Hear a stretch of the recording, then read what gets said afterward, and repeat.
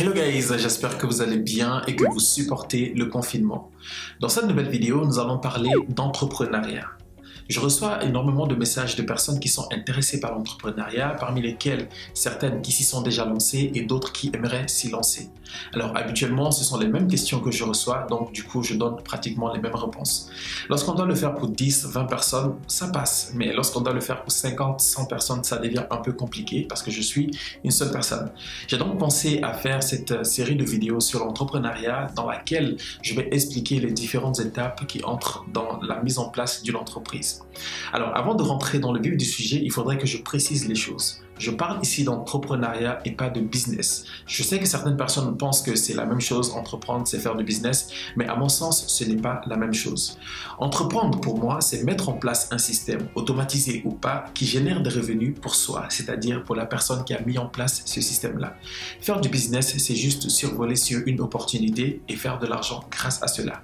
Lorsque je vais acheter, par exemple, des vêtements et que je les revends, je suis en train de faire du business. Lorsque je vais acheter par exemple des fruits et que je les revends, je fais du business.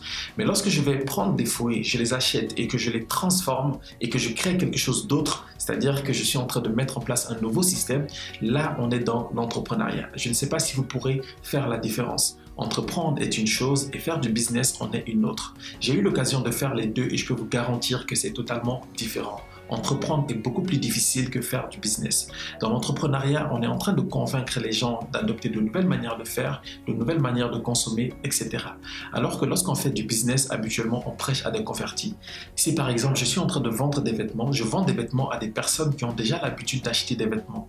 Alors que si je crée un nouveau type de vêtements, un nouveau type d'habillement, là, je suis obligé de convaincre les gens d'adopter cela. Et c'est ça qu'entreprendre.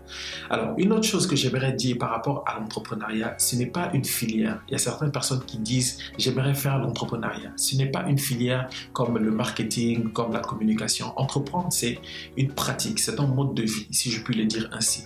Il faudrait savoir dans quoi vous vous lancez lorsque vous décidez d'entreprendre. Alors, à présent que cela est dit, on peut rentrer dans le vif du sujet, c'est-à-dire la première étape, la première chose à faire lorsqu'on veut se lancer dans l'entrepreneuriat. Par où ou par quoi commencer lorsqu'on veut se lancer dans l'entrepreneuriat? Certaines personnes vous diront qu'il faut commencer par trouver une idée, la bonne idée.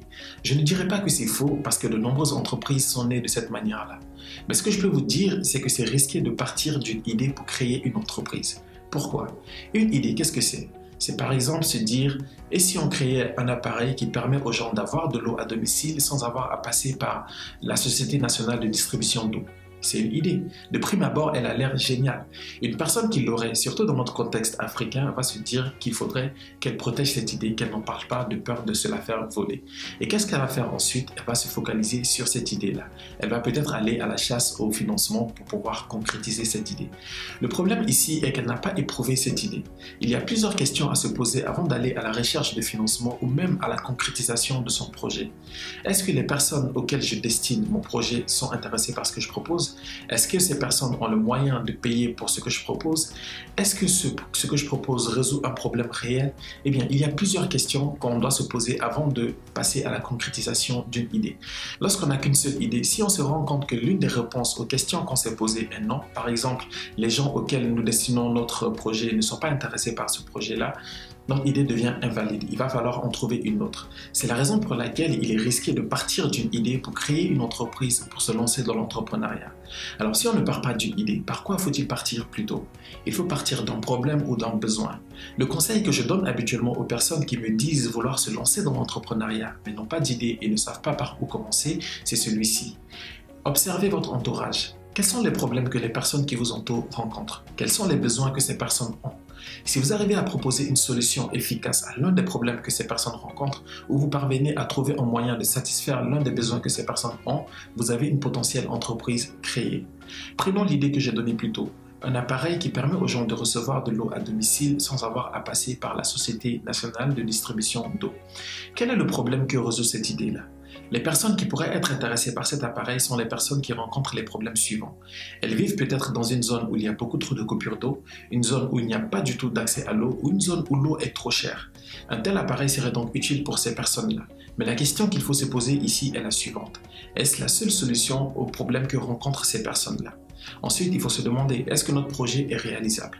Parce que les canalisations qui existent en ce moment, qui permettent aux gens d'avoir de l'eau à domicile, ne vous appartiennent pas.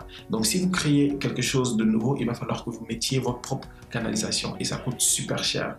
Vous voyez déjà qu'il y a plusieurs choses qu'on n'a pas pris en compte lorsqu'on a eu cette idée-là. Voilà pourquoi il faut partir d'un problème. Lorsqu'on d'un problème, comment est-ce qu'on procède? On fait ce qu'on appelle un brainstorming. Alors, on part toujours de la cible.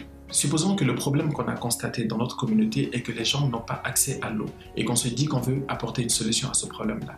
Qu'est-ce qu'on va faire? On va faire un brainstorming. On va essayer de trouver différentes idées qui vont être chacune une solution et on va essayer de voir en fait l'efficacité de chacune de ces idées-là par rapport à notre cible. Est-ce que les gens seront euh, capables de payer pour ce qu'on propose? Est-ce que la solution sera facile d'utilisation? Est-ce que sera meilleure à la solution qui existe déjà? Etc. Donc ce sont toutes ces questions-là qu'il faut se poser avant d'arriver à une solution. Et pour cela, on va pas trouver une seule idée, on va trouver plusieurs idées et on va commencer à éliminer les idées jusqu'à garder celle qui sera la meilleure. Voici donc ce par quoi commencer lorsqu'on veut se lancer dans l'entrepreneuriat. On part d'un problème ou d'un besoin réel. Et à partir de ce problème ou besoin réel, on fait un brainstorming pour trouver différentes idées qui vont être chacune une solution au problème ou besoin constaté. Ensuite, on procède par élimination jusqu'à trouver l'idée la plus efficace, c'est-à-dire celle qui répond le mieux aux besoins de la cible.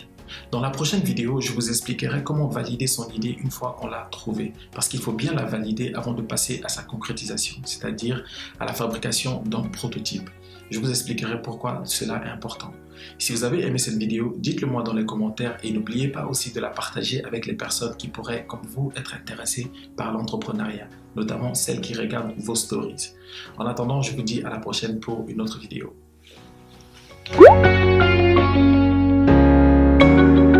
You